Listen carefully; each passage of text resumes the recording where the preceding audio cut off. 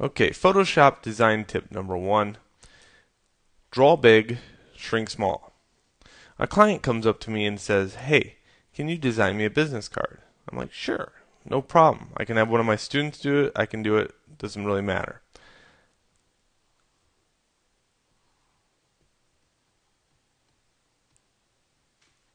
Business card size. And he says, Well, I just want my name here. All right, that's cool. I could do that, no problem.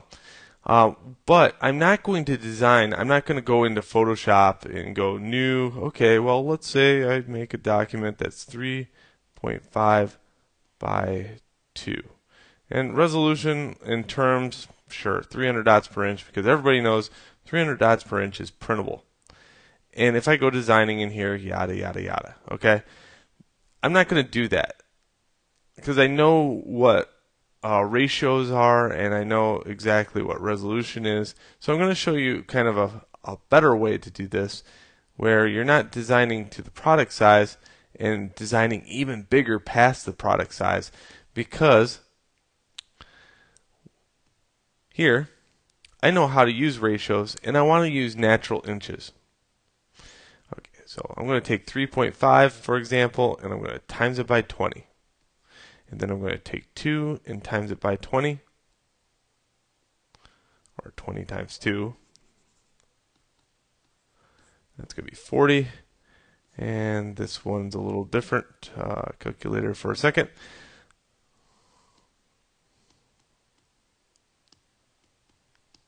Seventy. So if I make a document that's 70 by 40, it's the same as making a document that's 3.5 by 2 because you forget we live in a digital world now. Size is irrelevant as long as we stay in ratios, it's good to go. So I'm going to make a business card that's relatively 20 times the size of a business card. Okay? And that's new document uh, 70 by 40. What about resolution? Well, resolution not as important as everybody thinks.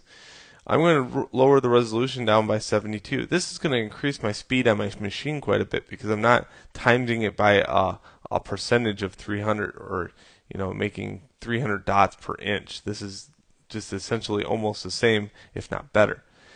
Uh, so 72, if you don't know, 72 is an actual inch. There's 72 natural pixels in one inch. So I'm staying true, 70 by 40, and then there's 72 pixels per inch of 70. And that's what I get if I make a new document and I start scribbling it. The point is, here is that document. Here's that card that they wanted me to design. And if I go file print, I'm going to get this. Oh man, look at that. The W is almost as big as a piece of paper. But have no fear because it's in within ratios. And if I just type in the height of 2, I get 3.5 here.